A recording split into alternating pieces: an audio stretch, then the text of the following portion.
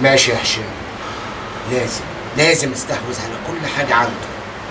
على كل فلوسه بالتوكيل اللي عمله لي. ألو؟ آه مستر. ازيك ازي حضرتك؟ عامل إيه؟ بقول لك إيه خلصت لي الأوراق؟ الأوراق بتاعت هشام؟ آه بموجب التوكيل اللي عمله لي.